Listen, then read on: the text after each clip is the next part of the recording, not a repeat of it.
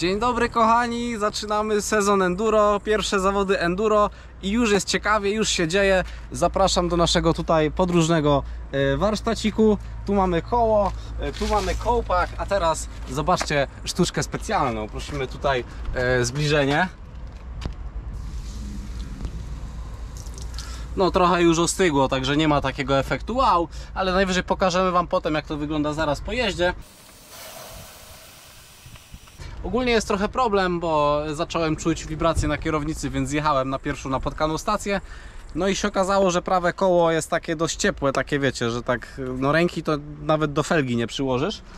Także chyba zapiekły się klocki, chyba zapiekł się zacisk przy prawym kole. No i tak kminimy co zrobić. Jesteśmy jakieś 80 km od domu, chyba koło piwnicznej, także bardzo ładne rejony. Najgorszy problem, że chciałbym na zawody jechać ogólnie, bo jestem trochę napalony na ściganie, nie ukrywam. Eee, ale no mam nadzieję, że je- jeśli to oglądacie, to znaczy, że się udało. Aktualizacja sytuacji, ogarnęliśmy temat inaczej i ubezpieczenie, za które płacę, w końcu się na coś zwróci. Także jak widzicie, Alhambra trafiła na lawetę, a my czekamy na auto zastępcze i po prostu ciśniemy dalej w ten sam dzień na Słowację. No będziemy trochę później, ale będziemy już dzisiaj i jutro można będzie od rana jeździć. Także i tak lepiej niż po prostu no, jechać z powrotem do Tarnowa i potem znowu jechać drugie tyle rano, nie? Czekamy na furę. 21.45 Nowy Sącz, czyli po jakichś 4 godzinach mamy to. Nowa fureczka. Patrzcie, co on tutaj ma. Co on tutaj ma? Patrzcie. Ma drzwi na guziczek. Także warto było. Warto było. Teraz mamy drzwi na guziczek, nie? No ale wsiadamy, jedziemy w końcu. Teraz już będzie z górki. Dobra, słuchajcie, mamy dzień następny, sobotę. Jak widzicie, dotarliśmy na Słowację, także dobrze. Niestety nasz nowy bolid również ma bolączki, a konkretnie lubi sobie przejść w tryb awaryjny, tak po prostu, bez powodu, bez ostrzeżenia, w randomowych momentach, tak standardowo wiecie, dla dieselka, odcinka mocy i do widzenia, no i trzeba zjechać na pobocze, wyłączyć, włączyć i wtedy znowu jest normalnie, czasem przez 15 minut, czasem przez 5, także wczoraj przez 150 km no resetowałem go przynajmniej 8 razy, ale ważne, że tu jesteśmy i w końcu idę jeździć, nareszcie. Powiedz mi, że jeździsz z Łukaszem Szymczukiem, bez mówienia mi, że jeździsz z Łukaszem Szymczukiem. Życie bez transfera to życie stracone. Trasa już jest dobrze dostosowana do potrzeb ridera. No i mamy niedzielę, dzień startu, a my właśnie dochodzimy już na szczyt. Do pierwszego OS-a. Pogoda jest naprawdę ekstra, lepsza niż miała być. W ogóle wczoraj miało padać, a padało tylko, nie wiem, może przez 20 minut. Także jest potwornie, potwornie sucho. To są najbardziej suche, najbardziej takie piaszczyste warunki, w jakich kiedykolwiek jeździłem. Ale OS-y są naprawdę fajne po 4-5 minut naprawdę cały czas praktycznie jazdy w dół, także mega myślę treningowo będzie to dobre dla mnie. Jest ze mną Łukasz i rozwalimy to. Yeah boy!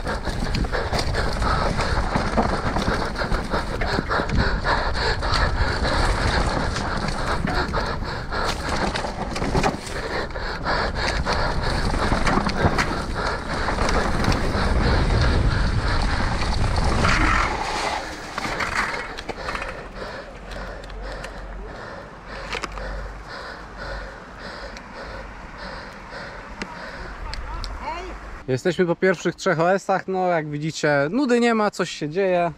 Pierwszy przyzwoicie, tak trochę zachowawczo, bo pierwszej połowy wczoraj, pierwszą połowę wczoraj objechałem tylko raz, tak że było tak dość niepewnie, ale przynajmniej bez żadnych przypałów. Na dwójce dwa błędy, pierwszy zaraz po starcie z mojej głupoty, bo oczywiście y, ciężko zapamiętać, że jest zakręt pod starcie, nie? Trzeba się... Ja. Trze- Trzeba się wa- wywalić prosto, no a potem jeszcze tak prawie, prawie zaliczyłem glebę, ale na szczęście ustałem. Gdzieś tam mi wpadło przednie koło. A na trójce niestety, ale wystąpiły mechanical problems, taka sytuacja.